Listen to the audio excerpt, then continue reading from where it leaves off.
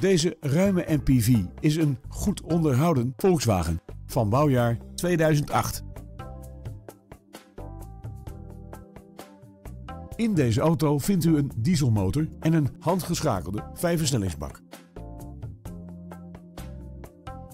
Neem plaats achter het stuur en verbaas u over het ruimtelijke interieur.